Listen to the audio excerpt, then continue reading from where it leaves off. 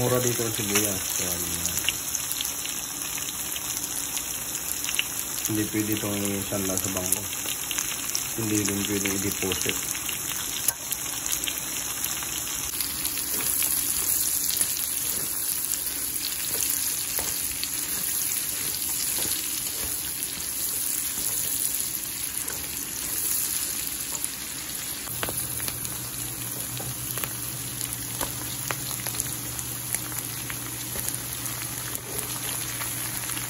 Mura din ang kamatis. Yan, marami tayong kamatis.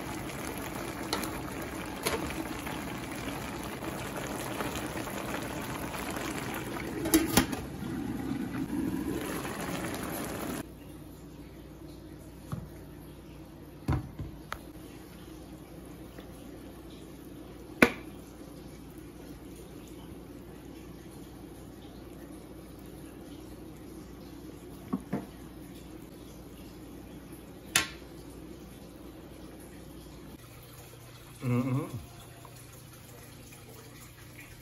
Alas, alas dos na. Wala pang kain.